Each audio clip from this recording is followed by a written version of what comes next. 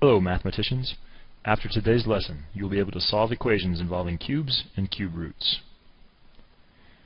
Remember that cubing a number means finding the volume of a cube with that side length. Since in a cube all three sides are the same length, you would find the volume by multiplying the side length times itself three times, or raising it to the third power. That is why raising a number to the third power is referred to as cubing the number. So 3 cubed or 3 times 3 times 3 is equal to 27. And here it is in the notation of 3 raised to the power of 3. So 3 cubed equals 27. Also remember that taking the cube root of a number means finding the side length of a cube with that volume. So if I wanted to find the cube root of 8, and again this is the notation for finding the cube root of 8, I'd want to find the side length of a cube that had a volume of 8. Well, since you'd have to multiply length times width times height, and all those are the same, you'd have to multiply some number times itself three times to get 8. That number is 2. The side length of this cube would have to be 2, so therefore the cube root of 8 is 2. And finally, remember that squaring a number and taking the square root are inverse operations. When this happens, when two operations undo each other, they are considered inverse operations. Since squaring and square rooting are inverse operations, it should follow pretty closely that cubing and cube rooting are also inverse operations.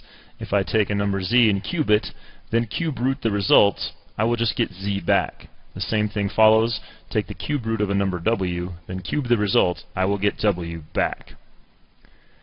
We can quickly verify this by trying by plugging in a couple of numbers. So for z cubed, let's plug in the number 2. So we want to cube it first, when we cube 2, we get 8, and the cube root of 8 just gives us back the 2.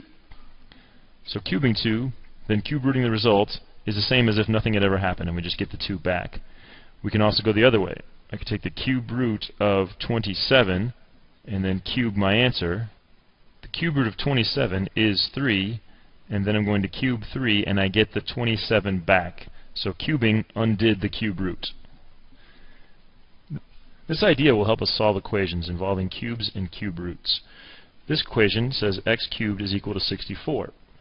To isolate the x, we're going to do the inverse operation to cubing. The inverse operation to cubing is cube rooting. So we're going to cube root both sides. Cube rooting undoes the cubing. We're left just with x equals the cube root of 64. So what number times itself three times would equal 64? That is 4. We can check that quickly by plugging that back in for x. So 4 to the power of 3 equals 64, which means 4 times 4 times 4 equals 64, and that is true. 64 equals 64. That checks out. So this is our answer. You may remember that a similar problem like this involving a square instead of a cube led us to also get the solution x equals the negative version. So perhaps x equals negative 4. Does that work the same on cubes? Let's check real quick to see. Would negative 4 also work as a solution to this? Negative 4 cubed would mean negative 4 times negative 4 times negative 4. The two negatives would multiply to be positive 16, but then you'd multiply it times another negative, and you would end up with a negative 64, which is not a solution to this. Therefore, you do not need to get both the positive and negative versions of the answer here. Just positive 4 works.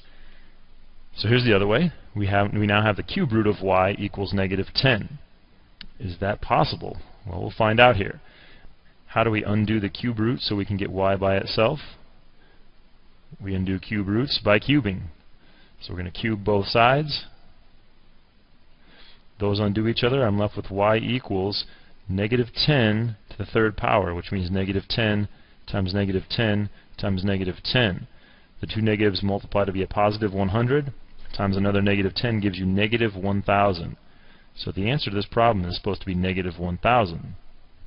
We'll plug that in to check it, asking is the cube root of negative 1,000 equal to negative 10? Well, that's asking us what number times itself three times is negative 1,000? it would be negative 10. Negative 10 does equal negative 10, so that checks out, and y equals negative 1,000 is our solution. So now you can solve equations involving cubes and cube roots.